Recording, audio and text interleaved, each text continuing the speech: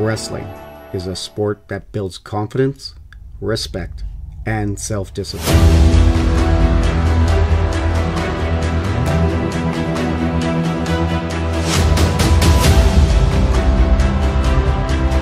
Not every upbringing allowed the next generation to grow up with positive mentors.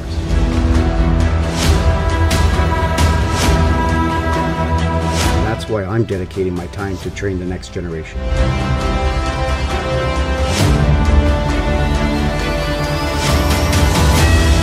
Excuses make today easy, but tomorrow harder.